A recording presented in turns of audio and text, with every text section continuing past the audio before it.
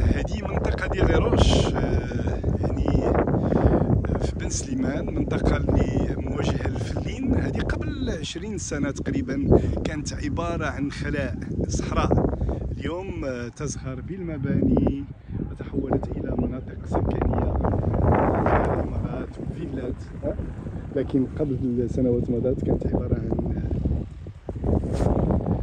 كانت عبارة عن مكان فارغ وصحراء قاحلة.